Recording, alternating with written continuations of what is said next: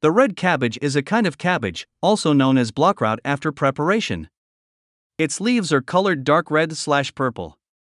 However, the plant changes its color according to the pH value of the soil, due to a pigment belonging to anthocyanins. Is red cabbage good for you? Red cabbage is a good source of vitamin K and provides small amounts of calcium, magnesium, and zinc, which can help build and maintain healthy bones. Red cabbage is high in fiber, making it easier to digest foods and keep your digestive system healthy. How do you eat red cabbage?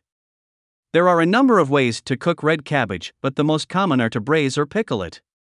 It is also great finely shredded in salads and coleslaws or added to stir fries. Red cabbage is full of vitamins A, C, and K, minerals, and antioxidants, so eating it raw or juicing it provides a fantastic health boost. Which cabbage is better, red or green? Red cabbage. In comparison to green cabbage, red cabbage contains 10x more vitamins, cancer fighting flavonoids, and a winning amount of antioxidants which improve eye, teeth, bone, and immune health. What are the side effects of red cabbage? A cup of chopped red cabbage contains carbohydrates like fructose, 1.9 g, which may cause malabsorption. The symptoms of carbohydrate malabsorption include flatulence, abdominal cramps and pain, diarrhea, and headache. These usually occur after eating a product containing incompletely absorbed sugar. Does red cabbage burn belly fat? Although cabbage is a healthful low calorie vegetable, many people have come to associate it with weight loss because of the popular cabbage soup diet.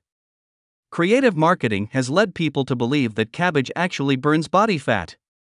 No foods, including cabbage, actually burn body fat. What happens if I eat red cabbage every day? Cyanidins in red or purple cabbage protect against cholesterol from clogging the arteries. They lower inflammation and can prevent heart disease. Sinigrin is a sulfur compound that has been shown to protect against cancer.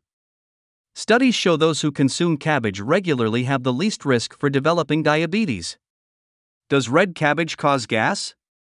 Cabbage, broccoli, cauliflower, and other cruciferous vegetables are common foods that cause flatulence and gas. These plants release sulfur-containing organic compounds, called glucosinolates, when the leaves are cooked and or chewed. Is red cabbage good for your liver? Along with sulfur compounds, cabbage contains choline, a nutrient the National Liver Foundation says is important for liver health.